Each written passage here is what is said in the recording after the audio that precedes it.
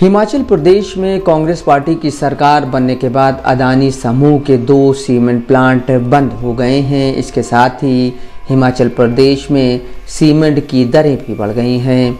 हिमाचल प्रदेश के नए मुख्यमंत्री सुखविंदर सिंह सुक्खू ने अमर उजाला के साथ विशेष बातचीत में इसकी वजह बयां की है।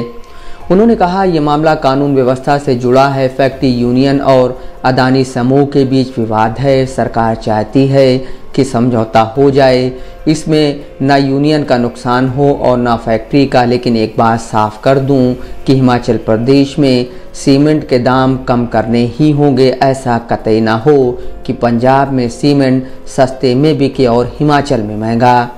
इस इंटरव्यू में सुखू ने यह भी बताया कि उनकी सरकार ओल्ड पेंशन स्कीम को वापस लाने के लिए क्या कोशिशें करने जा रही है। उन्होंने कहा पिछली भाजपा सरकार राज्य पर सत्तर हज़ार करोड़ का कर्ज छोड़कर गई है, बड़ी चुनौती है, लेकिन समाधान भी है। हमने पहले दिन कहा था और फिर कह रहा हूँ कि कर्मचारियों की पुरानी पेंशन स्कीम पर फैसला पहली कैबिनेट में लेंगे। अन्य योजनाएँ पूरा करना भी हमारी ज़िम्मेदारी है। इसके साथ ही वीरभद्र सिंह परिवार के साथ कथित तनाव के मुद्दे पर हिमाचल प्रदेश के नए मुख्यमंत्री ने कहा, कांग्रेस एक परिवार है, राज्य में अब कोई गुट नहीं रह गया है। वीरभद्र सिंह परिवार की कुछ इच्छाएँ हैं।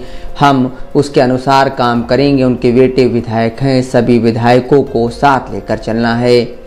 हिमाचल प्रदेश के विधानसभा चुनाव में कांग्रेस पार्टी की जीत के बाद कांग्रेस नेता रहे वीरभद्र सिंह की पत्नी प्रतिभा सिंह या उनके बेटे विक्रमादित्य सिंह के मुख्यमंत्री बनाए जाने की चर्चाएँ जारी थीं।